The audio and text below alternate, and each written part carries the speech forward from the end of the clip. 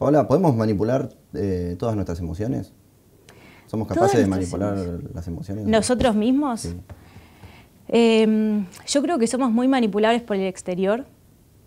Em, de hecho, hay como muchas situaciones eh, dogmáticas que han logrado manipulación de seres humanos y de masas, sobre todo. Hay muchos estudios sobre eso, ¿no? La manipulación de masas que posiblemente apelan a la cuestión emocional para la manipulación.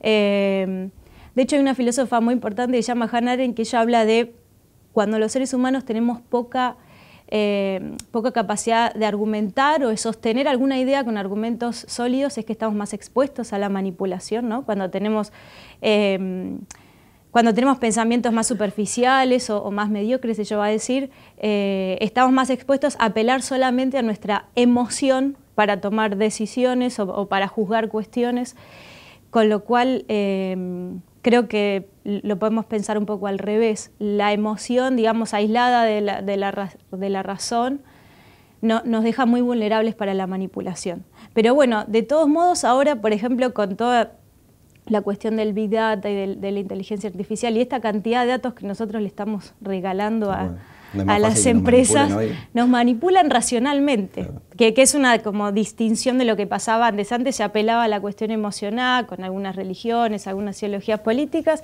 y hoy creo que están apelando a también coaptar nuestra manipulación al orden racional porque saben absolutamente nuestros gustos, nuestros deseos, nuestras formas de pensar, ¿no? y está como todo adaptado así que eso es bien complejo esas formas de manipulación porque son personalizadas.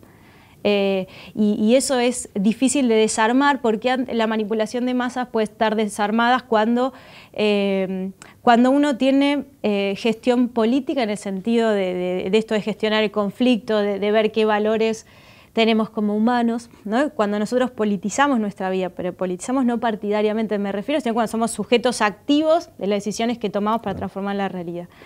Entonces, creo que la manipulación de masas había encontrado alguna resolución ahí que no la, estamos, no la estaríamos encontrando en esta manipulación más actual que es bien personalizada. ¿no? Así que es muy problemático.